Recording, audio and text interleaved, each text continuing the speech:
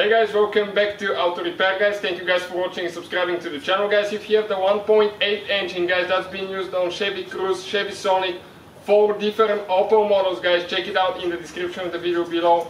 As well guys, uh, Alfa Romeo 159 and Fiat Croma and you're trying to replace camshafts guys, okay, intake and exhaust camshafts, stay with us and we'll show you guys how to do that. We'll have more than 200 videos on every vehicle we get at the shop because our goal guys is to save you as much money as we can. Please subscribe to the channel and let's go ahead and start on it and see how much we have to do okay to remove guys and replace these camshafts. You can see it takes quite a bit of quite a bit of work to get to that point, to take everything apart. That's what the engine is going to look like and you'll see guys what needs to be done. We'll be demonstrating on Chevy Cruze but as I said the same engine, exactly the same engine is being used on Chevy Cruze, Chevy Sonic, Opel Astra, Opel Insignia, Opel Mokka and uh, I believe one more. Uh, and also Alfa Romeo 159 and Fiat Croma. So let's go ahead guys, start on it and get to that point. So you can see guys our intake is missing, we removed it for another video, you do not have to remove the intake for that at all guys. Uh, we'll just have a little bit more room to work with and show you better where things are that way and you can see on the engine yourself. One thing that we'll need to remove that airbox, so stay with us, we'll remove the airbox and we'll continue with the next step. So guys, what we need to do first, okay, right here, we need to disconnect if you have a hose for your secondary air pump. Okay, these two places you need to squish in. It's going to spread out on this side and we can pull it out. Okay, like that. Okay, check out how it spreads out. The teeth are right here. Now, we need a flathead screwdriver. We're going to uh, get that clamp loose now for the intake manifold. Okay, let me just install this one where it's supposed to be so I'll show you how to remove it. Okay, just a little bit more. Okay, now we can pull that hose out. Okay, like that. Right here now, guys. Okay, I'm going to grab, okay, and pull it out. There is one tooth holding. And we need to disconnect the MAF sensor.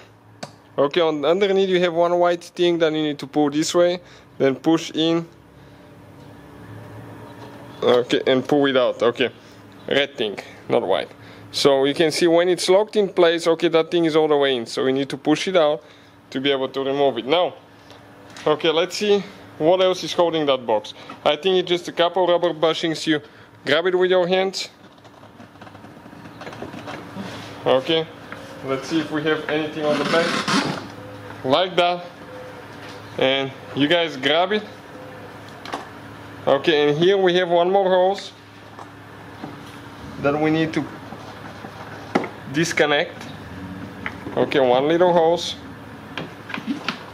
And pull it out. Now where are the rubber bushings that I'm talking about? Okay looking at the box this is on the front side. This is a rubber bushing. This is on the back side. Those are the only things holding your air filter box guys in the car. And from that point on it just goes in the fender like that. So you can see it just came out like that so with the airbox out of the way now, this is your engine mount guys right here. We'll show you what needs to be done to replace it. We'll need to get a jack, we'll need to get a wood block because we'll need to jack the engine underneath so we can support it and make sure it doesn't drop when we remove the mount.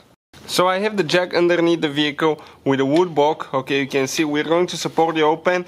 And I'm going to pump it just a little bit because actually the engine has some weight on the mount. So I'll just go a little bit up uh, it's hard to tell exactly how much gas you have to kind of like feel it your way to know how much. And now we'll start removing the bolts here that hold the mount to the engine motor. So now guys, 15 millimeter socket, okay. And okay, let me show you what we'll be removing here. Okay, so we can see perfect. Okay, let's point it this way so you know where things are. Okay, first of all, okay, this nut right here, I'm going to get it loose. Then guys, okay, we're going to get loose these three bolts here.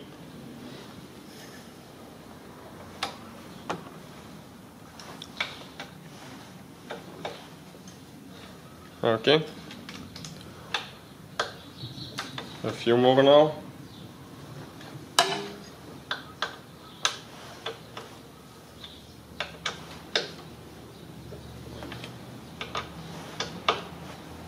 Next we have this bolt right here.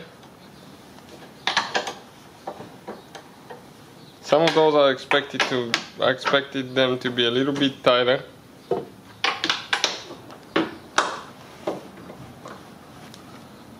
Okay what I'll do now guys I'm going to get uh, the little impact okay give me just a second. And see if we can remove them okay one is out. Now it's extremely important guys okay I'm saying that again. When you remove the third bolt your engine might drop. So if it starts dropping remove it slowly. You will need to guys adjust the jack okay and lift it up a little bit more. So far good. Now is the third one that's holding. Okay in our case we're good to go. I supported it enough so it will not drop at all. Okay that nut now right here. And next two more bolts.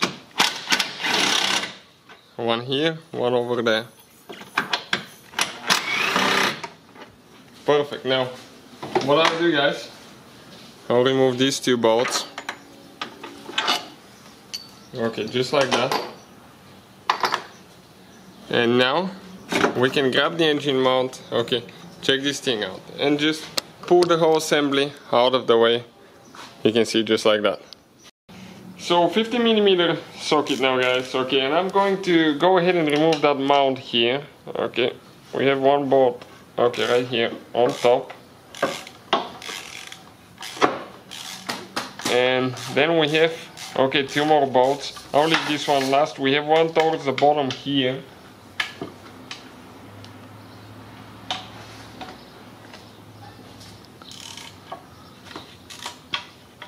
Okay, this one is actually, the bottom one is going by hand, so I'm very surprised. That's a good thing.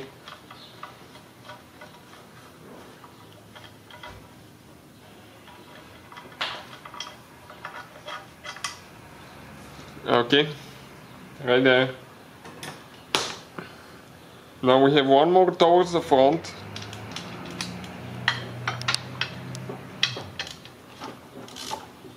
Oh, this one he's going by hand as well.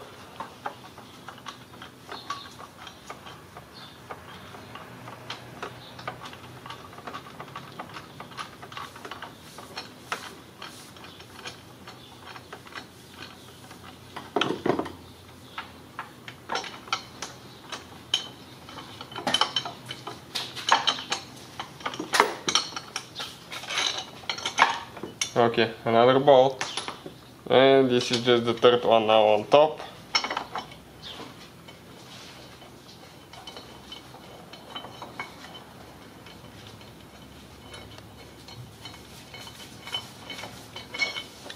Okay perfect. Let me see if I can pull that thing out now. Okay you can see guys just like that. It came out of the way now so now guys, uh, we'll remove the wheel. Okay, we need to remove the fender liner. You can see the car was in an accident on this side. Okay, ignore that. It doesn't really matter if it's in an accident or not. Okay, I'm going to go ahead and remove the wheel cover here and then we'll remove the tire quick.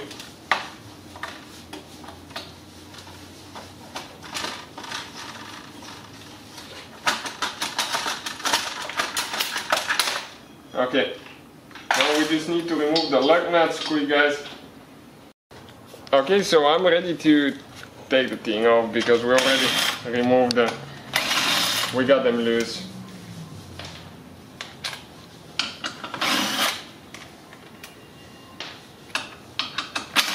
So you can see guys, it takes a little bit of work to do that.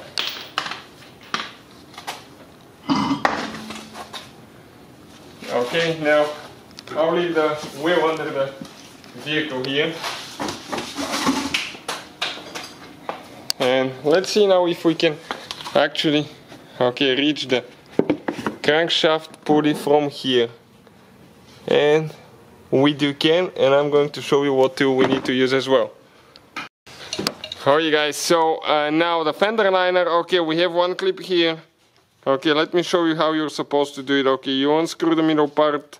Okay, and then you pull the whole thing out. One there. Okay, we have one on top. Another one on top. Then we have here, there. We have a few on the front, and then we'll have one, okay, two, three screws that we need to remove, but all that ours is broken, so I'll just go ahead and remove it and show you what we need to do next. So now guys, right here, if you look, okay, there is one, okay, I'm trying to fit in there, okay, this white bolt, okay, this is with a 12 point socket, 12.19 millimeter socket, okay, like this one here. So, if we go now guys, okay, let me show you. If I go and get the socket in, okay, you can do that from the bottom of the car, not just from the top. Okay, let's hold it like that so you can see what's happening. I mean, okay, I'm going to go now counterclockwise. It will release the pressure of the belt and I'm going to remove it from the alternator. So check this thing out now.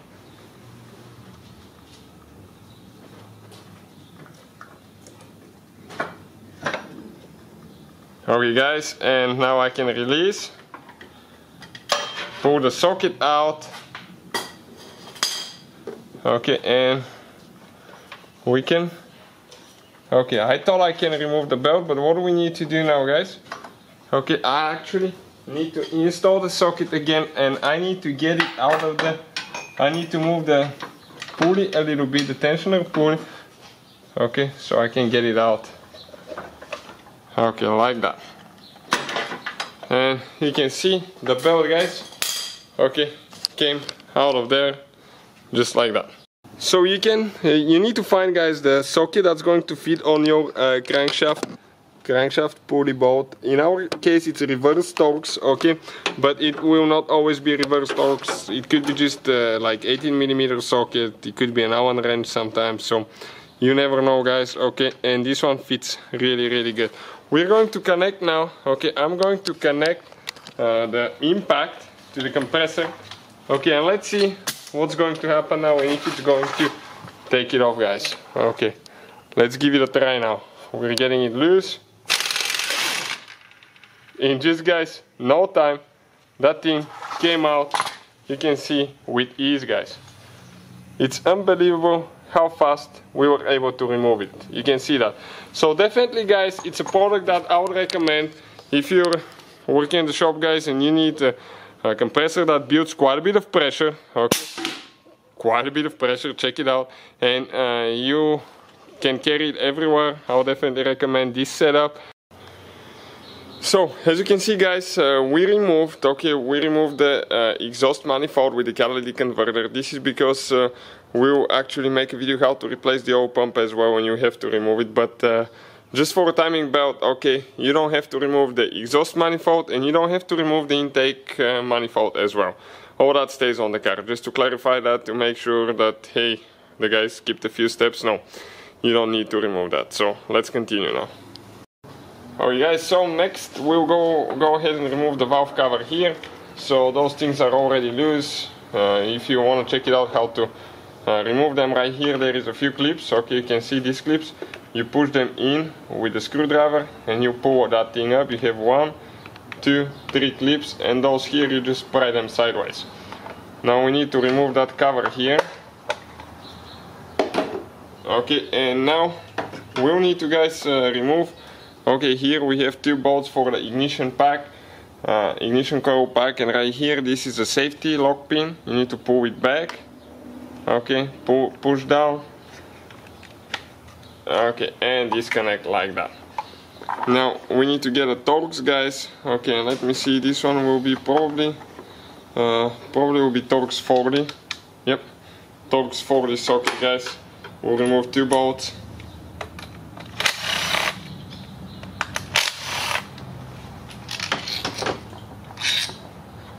Okay, those are out. Now we grab that ignition coil pack. Okay, and we pull it out. Now, we're still working here on the valve cover, guys. we need to, to get reverse Torx to, uh, okay, this is a 10, reverse Torx socket. This is 10 millimeter. And we'll start removing bolts for the valve cover.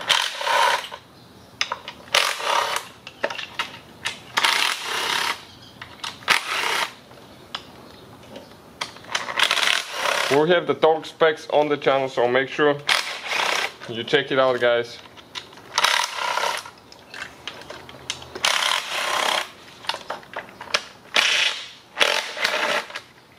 Yeah, almost lost my socket here.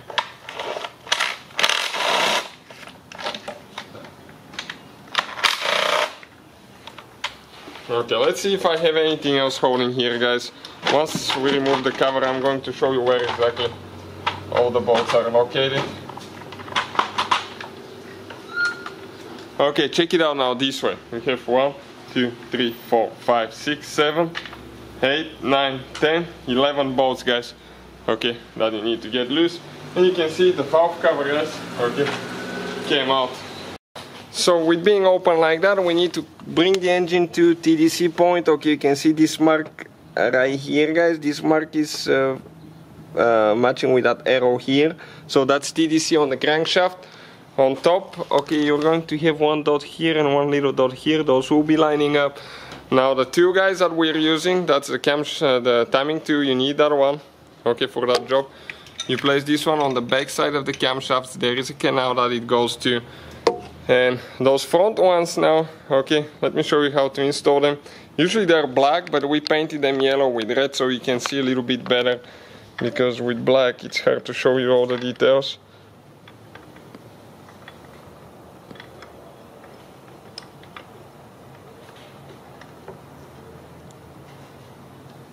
Okay, you can see guys, just like that. They're matching the dots, that canal there.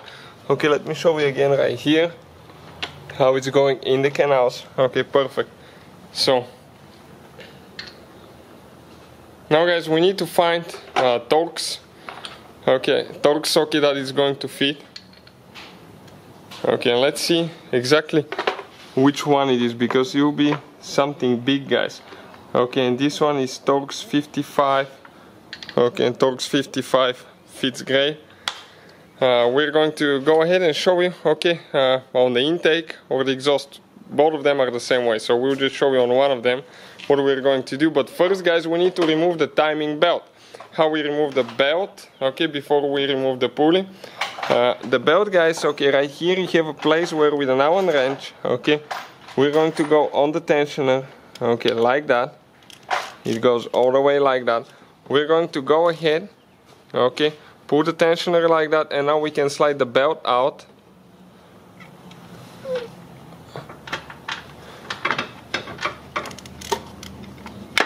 Okay, perfect. And let's grab the belt, pull it out. Okay, and on the bottom it comes out a little bit harder. Okay, it gets stuck there, and we can just put it on the side. Now we're going to remove the, uh, the, gears here. So it's recommended guys uh, for the next step, uh, okay, if you remove uh, camshaft, uh, uh, the camshaft sprockets, or if you're going to remove camshafts for some reason, uh, you always need to go about, uh, you need to set it about 60 degrees, okay, right here, that mark. That way guys, okay, uh, you're not going to uh, hit the pistons and the valves, so what I'll do, I'll go counterclockwise, okay, to about 60 degrees, okay, like that, to make sure that I'm not going to smash the pistons and the valves and later have more problems. So with the Torx 55 socket guys, we're going to go ahead and remove, okay, that bolt.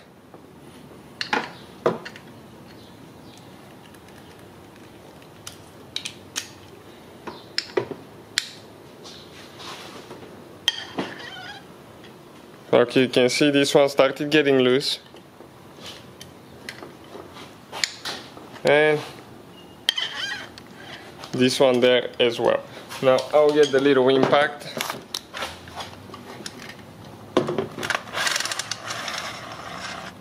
Okay, this is just a cap here.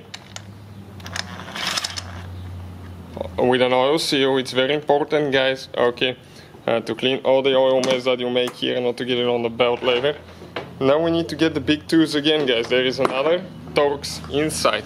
Those are oil filled, oil filled uh, cam gears, camshaft gears. So now let's see if it's the same tool. Yep, it definitely looks like the same tool.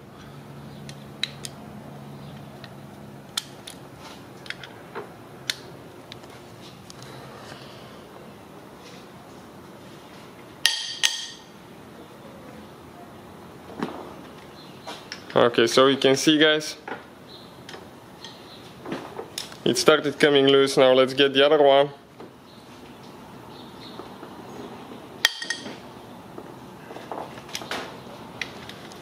Perfect, you can even hold them, okay, right here with a wrench if you need to, to offset all the balance, but uh, so far we haven't had problems with locking it with this and the other one as well but I heard some terrible stories for breaking a camshaft so you might even want to hold it with one big wrench here when you're taking them off and installing them later as well.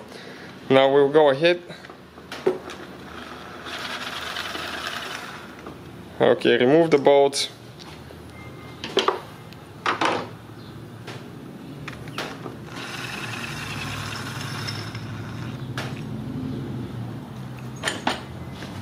Perfect, we need to get our tool here.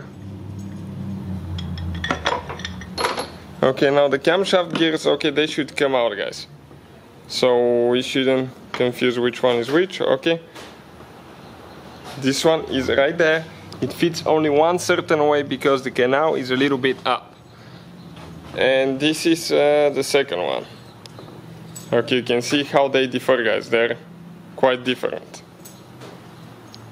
So now guys, we need a reverse Torx stand. This is E10 socket guys, right here.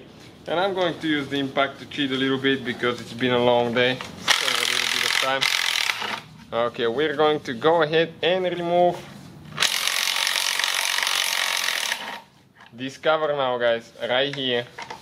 Okay, this is uh, one that you don't need.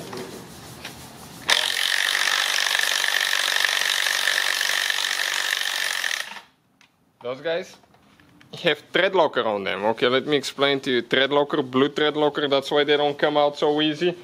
So uh, we have one more to remove towards here. Okay, and now, check it out. We should be able, guys, okay, to maybe pull that cover out or we need to remove.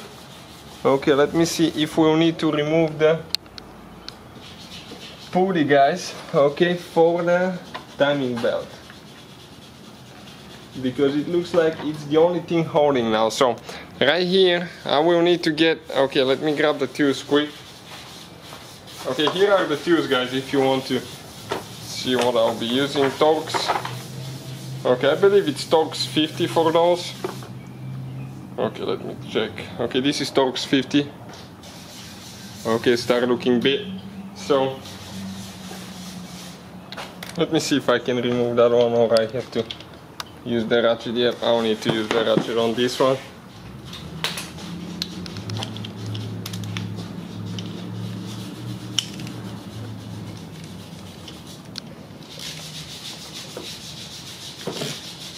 Okay, it came loose. Now I'm just going to lift it up with one hand and get the bolt out of there and the tensioner pulley for the uh, for the timing belt will come out. Okay just like that guys. Now this cover you can see out of the way as well. Next guys we have we need a reverse Torx stand again. That start looking bit socket reverse one. We have two bolts that we need to remove here one here and one over there. So let's go ahead and start on that. I have already one of the uh, VVT solenoids removed but if you guys want to remove it, it has only one bolt, okay, that you remove. I'm going to go ahead and disconnect the wiring harness. You can see that yellow whitish thing, it goes back. Okay, press down and pull the wire out, okay, to get it like that. You can, I believe, remove it with the solenoid on or with the solenoid off. One bolt out, second one. Perfect. Now working on the third here. And this is the fourth bolt. Okay, cheating a little bit here without impact guys, but it saves you so much time when taking things off.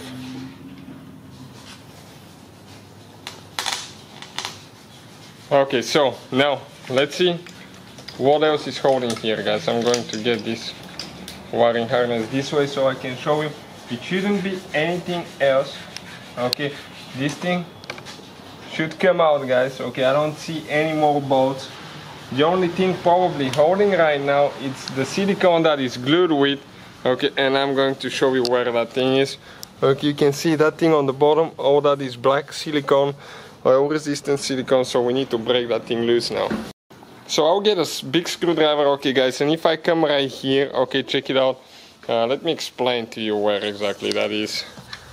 Okay, here on that mount, and I pry a little bit up, okay, check it out now. It's gonna come loose guys eventually.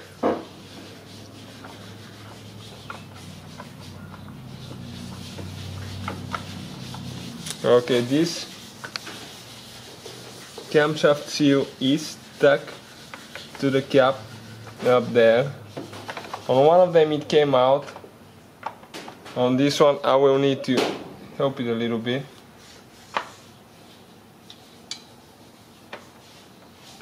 because it is stuck that's for sure. Okay. It came loose. It was just the silicone holding there guys. And now it's very important to clean all that old silicone when you put it together because otherwise you will not be able to seal it I'll show you in just a second okay what materials we're using so you can uh, see guys where we get it from and all that stuff. This is your camshaft seals guys. Okay this is one of them. The other one is right there. Uh, this one. Okay it was a little bit stuck from the time being there. So pretty much that's how they go guys. Okay I usually use scraper like that. Okay and what I do? Okay I clean all, all of that silicone really really gently because uh, you have to be careful with these scrapers because they're very strong okay and you can actually cause damage to the cylinder head. Okay, so you can see, just clean it really good. Then uh, what I usually do, get a little bit of brake cleaner, and after that, okay, we use the gasket maker. This is the maximum torque, okay, for rigid torque and high vibration applications. Ideal for newer and domestic, newer domestic and imported vehicles, guys. It's sensor safe. This one is great. We've been using it on so many cars and we never ever developed oil leaks after we used that thing. So next guys, okay, we're going to remove the caps for the uh, for the camshafts. Okay, so with the same, that uh, reverse Torx stand socket guys, right there, that's what we'll be doing. And uh, I'm going to remove this one first. Okay, let's put the two on the back. We don't need that two anymore. And we'll just go ahead and remove them one by one. You can see that they're labeled 2, 3, 4, 5, 6, 7, 8, 9. So you should install them exactly in the same way guys. Otherwise it will not work. Later you'll ruin your head.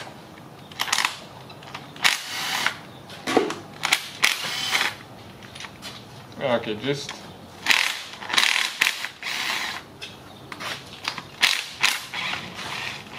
working on the last one here.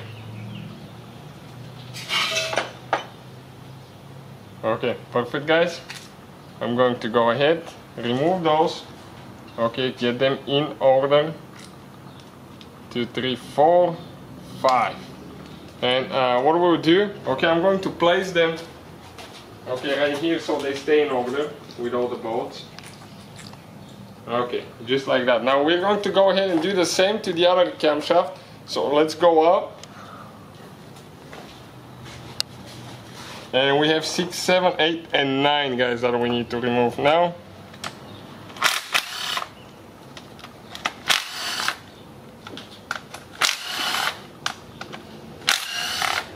Okay, just two more.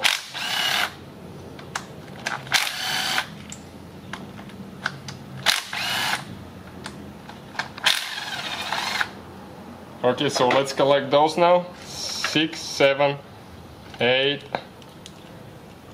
and nine guys. So let's place them down again next to those.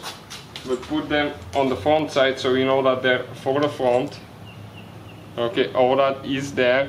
Now we'll go on top guys. Okay, and we can grab the camshafts one by one. Okay, this is our exhaust. This is our intake camshaft. So I'll grab them. Okay, and put them like that. So I remember okay which way they need to go. This is the intake this is the exhaust. You need to organize everything otherwise guys you have hard time remembering things later and you can get them confused.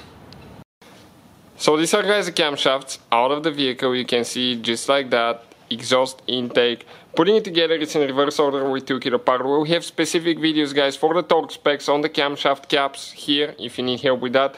Uh, torque specs for the sprockets check it out on the channel. You have to put new bolts every time guys you put those things together. That's how it is supposed to be. So new bolts there as well.